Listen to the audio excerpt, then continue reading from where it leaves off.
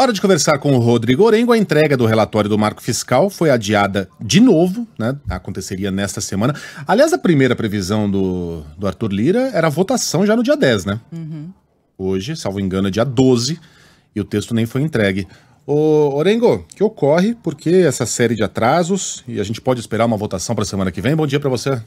Muito bom dia, bom dia a todos. E aqui em Brasília, mais um dia de negociação em torno do regime fiscal, o novo regime fiscal que ficou para a semana que vem, a apresentação do texto, muito em função de uma pressão que vem principalmente do Partido dos Trabalhadores, do partido do governo, que quer um texto mais flexível, até para ter oportunidade de negociar no plenário. O relator Cláudio Cajado, que está se encontrando com diversas autoridades, ontem esteve com o vice-presidente Geraldo Alckmin deixou para semana que vem a apresentação desse texto, mas a ideia é já colocar em votação terça, quarta-feira, né, para tentar finalizar o debate na Câmara dos Deputados, agora já com a volta do Arthur Lira, presidente da Câmara, de viagem ao exterior. Ontem, inclusive, ele se encontrou com o líder do PT, é, lá na residência oficial, também líderes de outros partidos, né, para negociar esse texto. Né? Então fica a apresentação para a semana que vem. Agora, a novidade é que o governo está reagindo, inclusive algumas críticas. Né? O próprio ministro da Articulação, das Relações Institucionais, Alexandre Padilha,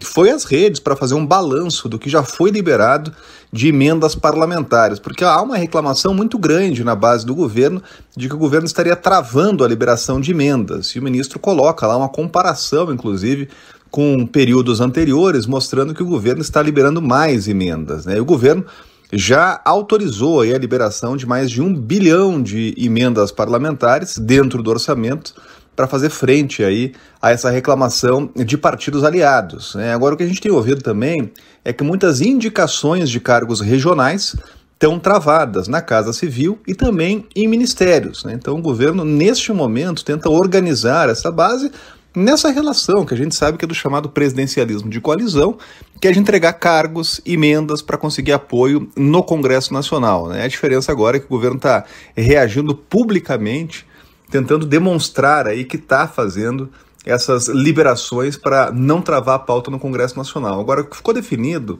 das últimas reuniões, inclusive com partidos PSD, PSB, é que o governo tem que ter foco. E o foco agora é o regime fiscal.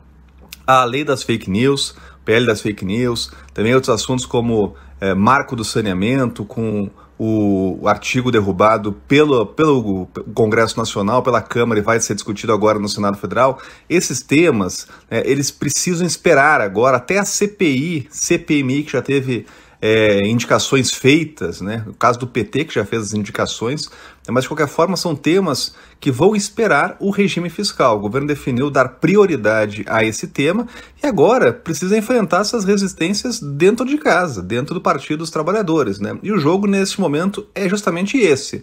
Enquanto partidos como o PSD, que são aliados, querem é, justamente gatilhos né, para que o gestor público seja de alguma forma responsabilizado é, e, se não cumprir metas, fique impedido de reajustar, por exemplo, o salário de servidores, o Partido dos Trabalhadores não quer, não quer essas travas, não quer é, justamente aí as questões que limitem o gasto público. Então quer a liberdade de o governo gastar mais para atuar em áreas mais necessárias, mais urgentes. Né? A gente está de olho em todas as discussões aqui em Brasília e volta ao longo da programação. Um grande abraço, bom fim de semana.